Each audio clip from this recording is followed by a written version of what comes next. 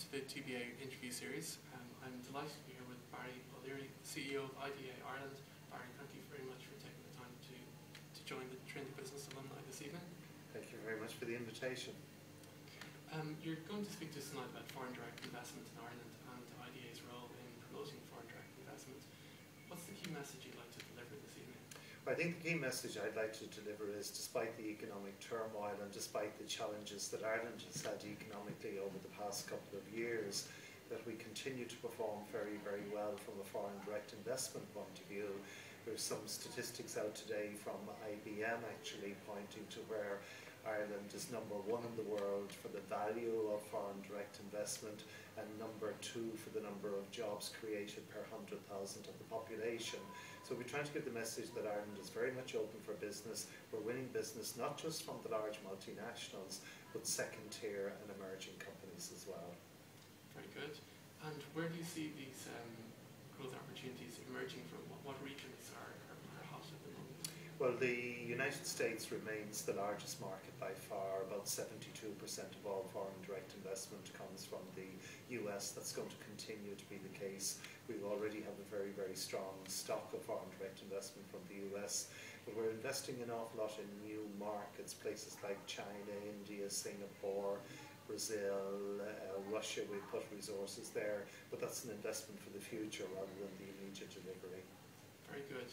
And I noticed something in, in, in the paper earlier this week, the IMI NIB survey that indicated that almost half of Irish or multinational companies based in Ireland were considering growing their employment next year. Um, has Ireland turned the corner at this stage? Well, I think there are two things. The uh, multinationals are all dealing almost exclusively with the export markets and they're doing relatively well. And I think that will continue to be the case. Have a good pipeline of investments. But the biggest challenge for Ireland Inc. is to get at the domestic economy, the domestic consumption going. So foreign direct investment will play a very important role, but it's important that we're firing on other cylinders in the economy as well. Very good. We're in Trinity College this evening and um, a lot of innovation and a lot of startups. And I read in the Financial Times that the Dublin Docklands is, has been called the Silicon Docks due to all the gaming companies that are that are being attracted to the Docklands. How are you sourcing um, these gaming companies? Well, I think if we take the general digital media, digital co uh, digital content, which includes games, but it also includes the likes of the internet players, so Ireland has already won the top 10 global internet players, anybody from Google, eBay, PayPal, down to Twitter, LinkedIn, Facebook, etc. And we've three of the top five games companies. Uh, people like Activision Blizzard are in Ireland, EA, Electronic Arts, and Microsoft, as well as a whole host of medium to small companies in the game sector. It's one of the features that we try and do once we go after a sector is to get a very, very high market share from the leading players. Very good. And then snowballs from there.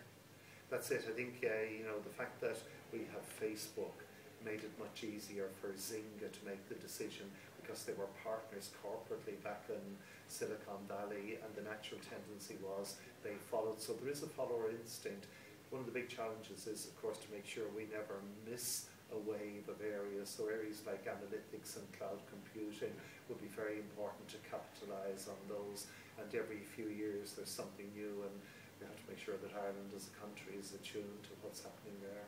Very good. Well, thank you very much for taking the time for the interview we look forward to hearing your, your, your speech this evening. And thank you very much once again for the invitation to address the team. Thank you.